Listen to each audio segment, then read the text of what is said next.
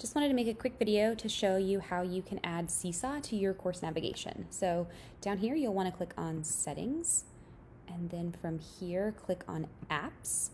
And then once you're on this page, you'll want to search for Redirect, and then click on the Redirect tool, and then click Add App. You'll want to change the name to Seesaw, and then just copy the login address and paste it back over here. Um, I like to uncheck the force open a new tab button. I'll show you what that looks like in another course and you can decide if that's what you want or not.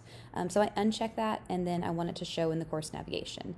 Then once I've done that, click add app and then refresh and you will then notice that Seesaw is now in my side navigation. So when I click on this, it opens Seesaw right here within Canvas.